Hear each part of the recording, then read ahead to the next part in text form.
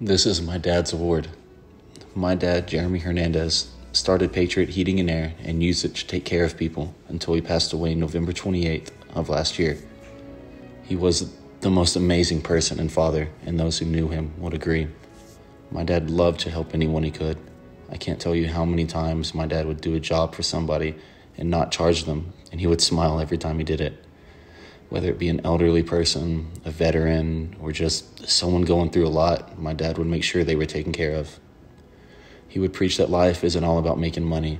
If you just take care of people, money will take care of itself. And that's what Patriot is built on. It has been an honor to call him dad and my best friend, and it's an honor to try and continue his legacy.